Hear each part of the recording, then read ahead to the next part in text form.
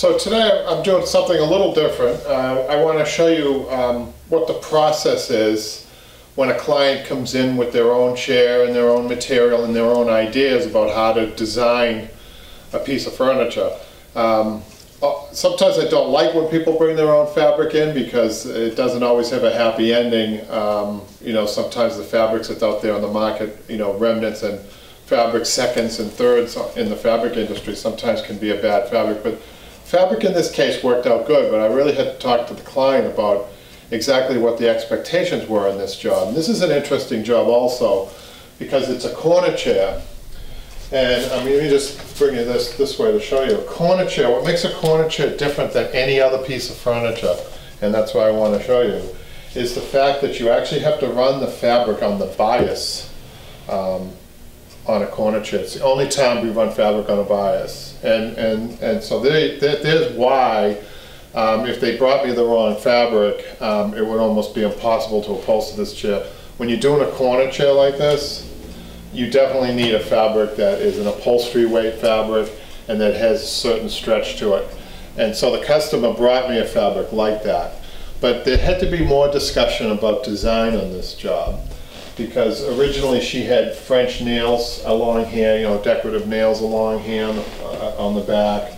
But those didn't work out so well a second time because this is a very old corner chair.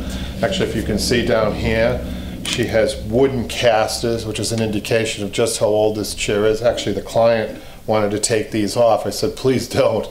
She thought it would be better to have them off for some reason. I said, no, keep them. They're very unusual, very hot, they're very rare. Um, so, so this chair is very interesting to me. That's why I wanted to feature it today. So today I, wanted to, I, I wanted to measure the chair, to show you how to measure the chair. And then I wanted to take the seat apart and I wanted to show you the cake. Well, I'm very interested in the cake or the padding that's underneath. It's called the cake as we've described in some other videos. But I just wanted to show you how to measure the chair and, and then from there we, we're going to take you through stripping the seat only today and then I want to see just what's left. Hopefully they kept the original cake, and that's always exciting for me, for a professional upholsterer to see, because we definitely will reuse it as we discuss with the client. So the other thing I went over with the client is, if you come over here, this is her fabric. So I suggested to put a trim on, uh, or gimp as it's called, where the French nails used to be in order to save the wood, um, the very old wood. So let's get going. Go. Okay, so what I'm going to do is show you how to measure a corner chair, which like I said, the seat is very unusual because it's on the bias. So um, as, we, as I've seen you, shown you in other videos, I simply label um, on the left-hand column all the pieces of this chair, and I have two slash marks to indicate front to back and side to side. So I'm going to measure the front to back on the, on the seat first, so let's do that. So I'm going to measure from underneath where the border is, because that's where the fabric comes down, and then I'm going to measure all the way to the back, which I get 33, and I add 3 inches to all my measurements, so it's 36. That's the front to back measurement. That might surprise people. That's a pretty big measurement. Now it should be the same. Usually they, they, they even out, but don't, don't, yeah, it's the same, so it's a square. It's another thing that's unusual about a corner chair is that they usually square out like that. And um, really, uh, squares are very unusual as a matter of fact, I can't remember the last square measurement I had, only on a corner chair. Okay, so now the border, which is this, we're going to measure up and down. And you know, you can use the, I don't like using patterns or getting people in the habit of using patterns, so I would say go about an inch underneath to about, you know, the top of the piping, which is five inches, and add two inches there. So that's seven inches. Seven inches on the border, up and down, okay? I'm gonna go all the way around the chair and I get 80 inches. I'm going to add a little bit, maybe 82. So I get 82. So the inside back, up and down and the inside back, we've got 12 plus 3, that's 15. Side to side, we got 20 plus 3, that's 23. And then on the arms, now the arms on this are very unusual, folks. Uh, most people would just measure like this and then they take a measurement on the arm. But on this one here, because we have a pattern that is almost stripe-like, you actually have to measure from all the way over here, try to get a bead on that, 12 I get 15 plus 3, 18 inches. So we're actually making a, a huge rectangle here. And then we cut it. So that's 18, that was a side-to-side measurement. Front to back, you know, it's a little hard to measure these, but you're not, you can't measure it like this, okay? That's the point. So you have to come over, at 16, you got 18 plus, plus 3, 21. So that's a pretty big, 21 by 18 for each arm. Seems like a lot of fabric, but it has to be cut that way. This is very important because the stripe is going to go on like so, not like so, because it will intersect, it won't look good with the seat, which is going to be straight. Okay, so this is interesting. Here's the fabric, and the customer uh, left it up to me on how to run the fabric. So when I look down my measurements, I see a, a measurement of 82 inches, which is the border that goes around the chair. So if I were to use the width of the fabric here, I would have to seam it in two spots. I'm not interested in that. So if you can run a fabric railroaded with some of these long measurements, it works out better. So I'm going to turn the fabric so that the bottom of the fabric is facing me. To see if this piece is 80, 82 inches.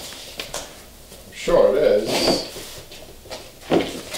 And that would be the first cut that I would do. So let's just, just measure it.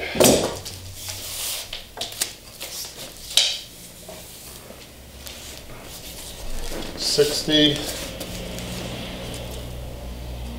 Boy, it's close, 60, 70, 80. It's 79. So what I'm gonna do is I'm gonna go back to the chair to see if I can get this in 79. So sometimes it's worth going back and checking your measurements. Of course, we add three inches to all our measurement. So what I did was I went back and I saw that the width of this fabric, after it's been railroaded, comes out to 79 inches and I do have enough. So that's really good. That means I only need one seam, which I love. So I'm gonna cut this, we're gonna cut the border first. So the border was 82 by 7, which we adjusted to 79. So let's do the seven. You simply take a piece of chalk, and you've seen this in other videos. Nice thing about stripes or, uh, polka dots in this case is that uh, you don't have to mark the whole fabric. You can just use the line of the dots. See that? I'm just going to go right along here.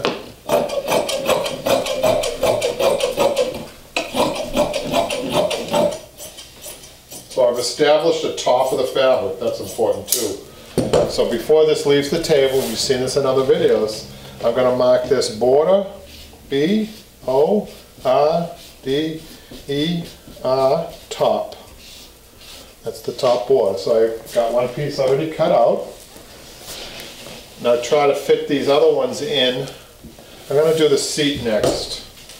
And um, we do have to pay attention to the fact that it is stripe-like, even though these are dots they have a, a, predominant is the is the red is the red dot, so we're going to use that as our center. So uh, we have 36, which is half of 36 is 18, which just so happens to come perfect to the edge of the fabric, and that's what you're always looking for to save fabric.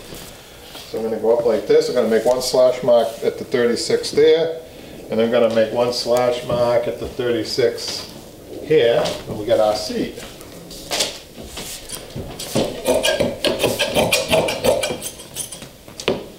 So notice how I'm not, um, I'm, I'm, speeding a little bit. I don't advise people to go as fast as me, but um, we're not cutting seat cushions, so we're not cutting to the half of an inch. This is oversized, so we don't have to be as detailed on that. Okay, I'm bring this up and mark this front F seat. Okay? So that over here. Next thing I see, measure this to see what this is, to see what fits in here. My inside back measures uh, 15 by 23. Let's just see what we got here. I got, I got 14, so I'm going to go back and measure that again. 14 is okay, so I adjusted that one down too in order to get this, this is a good use of fabric right here. So inside back 23, let's call it 23 right there. Get my red in the middle. my red dot in the middle. Very important because I want to match it to the seat. I'm Gonna mark this inside back, inside back, IB, top. All right. So we have an outside back also.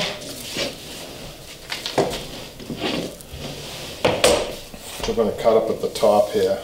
Outside back 18, means we gotta get that red stripe in the middle at nine, nine, 18, and then seven inches this way. It's very small outside back on that.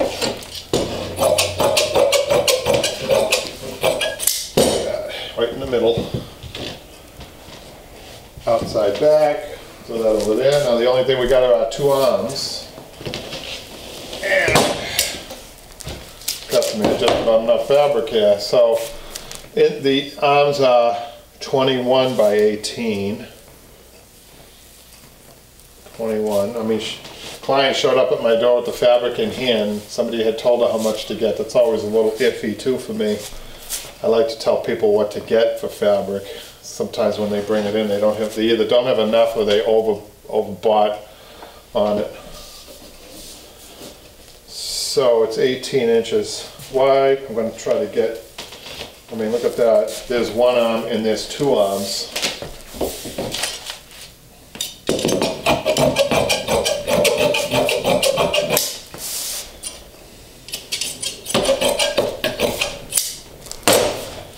I'm going to mark this FA, front arm. And then I'm going to mark this front arm. And there's all pieces for that, for the fabric that we need for this corner chair. And let's go try to strip it Okay, down. so The other thing, the last thing I wanted to show you on this chair, this um, is, I'm really interested in, in getting into the seat on this to see what they got underneath or, or the cake. So I already took the cambric off. That's usually what the first thing you take apart on any piece of furniture is the cambric, just to speed things up a little bit. Now I'm going to tear down the chair by taking the border off first. So what I'm going to do is roll that, if I can, with my side cutters. Now sometimes if you cut this, you get a good um, grip on it, the whole thing will come off. Because I see one thing already, that this is stapled. So hopefully it'll come off in a good way, so let's just see. Oh yeah, so, this way, all the way around the chair. I pull it, it doesn't always work this way. Sometimes it doesn't want to come off like, that. So now I see where they've pieced it. And I'm not sure if that's where I'm gonna piece it, but, you know, it has to be pieced somewhere, and they've got it in the back. They've got it off one side, the back of the piece, which is fine.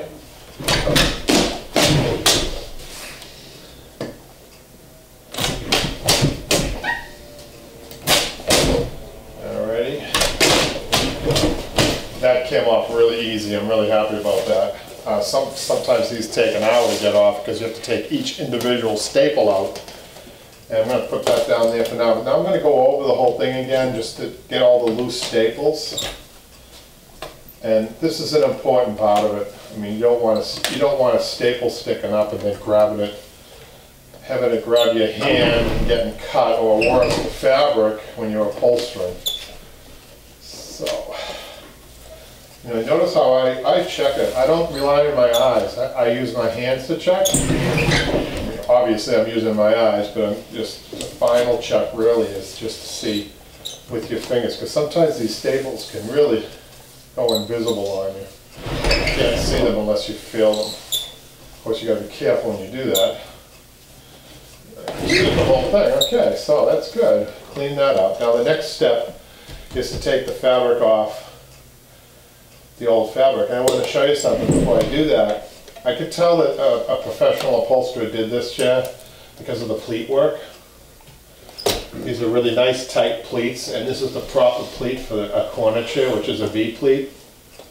You see, um, the spacing's perfect. Um, the the idea of it is, is right. Sometimes I've seen these with only one pleat here, which isn't the way to do it because your visual is this way. If you see this post, this is your visual. So one pleat always looks a little awkward because it's either open, it's like open on one end. So this is, this is just plain and simple, it's, it's an even treatment and that's what you want. So um, I'm gonna start taking this apart. Let's hope that the upholsterer kept, and I have a feeling he did, kept all the original cake. I'd be happy if he did, because I'll rework that. Because we want to keep the integrity of this piece, it's very important, because it's a- an old piece. It was made um, for small people. Um, Back then, they were all small, right? I think the average age, we talked about this on some of the other videos. This was about 150, 175 years old somewhere. Back then, people were, I think the average size for a male was five foot four. And so that's why furniture has evolved into uh, giant furniture because we've become giants. So let's just see what we got here. Okay, this is a little harder than the board because I, I don't have much to grab hold of. I did on the board, I had that piping, so I pulled at that piping. This isn't, get this going. Okay, I see something interesting already. I see the use of Dacron underneath here. Let's just, let's finish stripping this before we talk about that.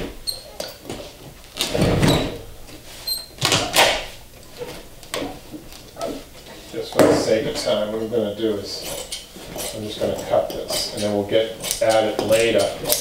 We'll get the rest of this later, but I just wanted to show you. So, I'm a little surprised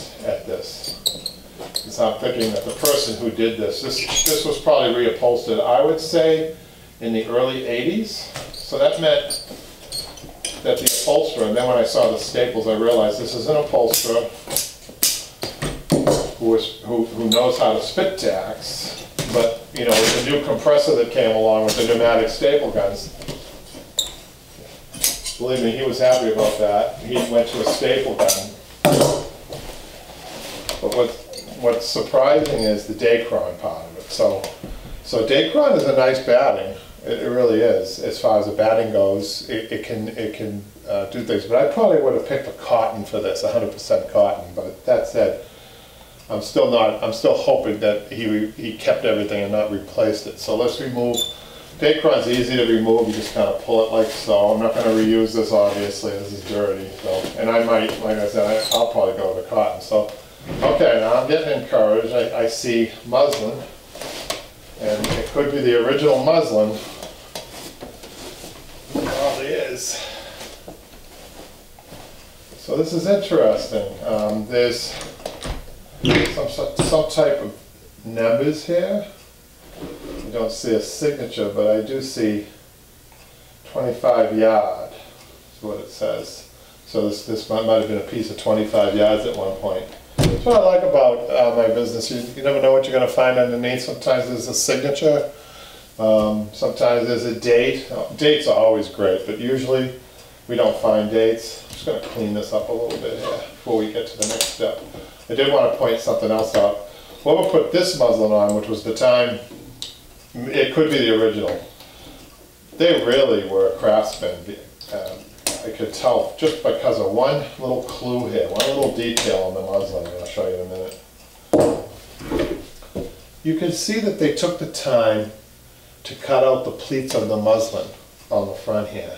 Because if they had kept the pleats, it would have created some bulk and maybe not make the fabric pleats look as tight as they were. So that type of detail, that's something you're not going to find in any book on upholstery. And the only way you would find that is if you took a class from somebody like me, who knows, or on a YouTube video if you're lucky enough to stumble on something like this. But this is this is one of those small little nuances that make for a really good upholstery job. So let's take this apart, and then you can see now we're down to tacks. You know, these are these are held in by tacks. It's another indication that this cover is probably the original. So uh, I don't have to be careful because there's no way I can reuse this. So I'm just going to kind of pull it this way. So I'm interested in getting to it. Now I'm already excited because now I see the original cake. This is really good. So um, this cake that's on here, oh yeah, horsehair. This is a great this is a great thing, folks. I'm really happy to see this. I'm gonna restore this back to the original minus the muslin. But, um, so this, this is the, the, the springs that are underneath need to be retied. So this has to come off, the cake has to come off. So now I'm gonna start focusing a little bit more to carefully take this off. So I'm gonna get my tack remover and my mallet. I'm just gonna show you how I would, we're gonna take these tacks out that are holding the burlap on individually.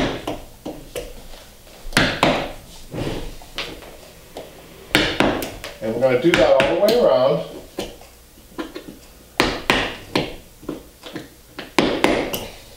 Get the front undone for us and then show you, show you what I mean, what's gonna have to happen here. Some of this is stitched. Okay, now that we, we, we loosened up all the tacks, um, I'm gonna clip, there, there's usually a stitching involved in the, to the burlap. So what we're gonna do is I'm gonna bring it up and I'm gonna clip the stitching and slowly work this up and try to get it off in one piece.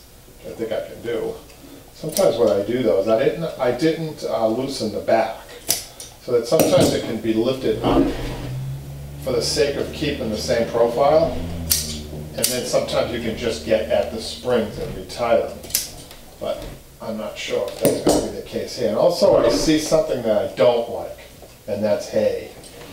You know, so this has a lot of hay in it, and the problem, you know, hay is a batting, they used to use a combination of hay and horsehair. It did have horsehair on the top, which was the top batting for the smoother look. But I'm gonna have to replace that hay. I don't like that hay at all. So I like half of this cake, at least. So I'm gonna bring this down. So what happens, the, the burlap's gonna come off, folks, just to let you know, and then we're gonna retire these springs, and then we're gonna, we're gonna, uh, save the horsehair, save the edge roll, but we're gonna replace the hay, okay? So we're gonna replace that maybe with a rubberized, um, horsehair, or a real horsehair, but, um, I'll have to call a client to ask them if they wanna get, if they want to, uh, spring for that. So, um, that's it. You know, we, we've gotten to the point where I, I just wanted to show you the cake and, you know, some of the surprises that you can find in it. I think this was a fifty percent good thing, that it had the horsehair and that it had the edge roll, but the hay I could have done without. Oftentimes we just see that stuff with uh, horsehair, which would, would have been a complete cake, the way I would have liked it. But at least I get half a cake, and half a cake is better than no cake at all. So thanks a lot, folks. We'll see you next time. Well, thanks again for watching, and please don't forget to subscribe.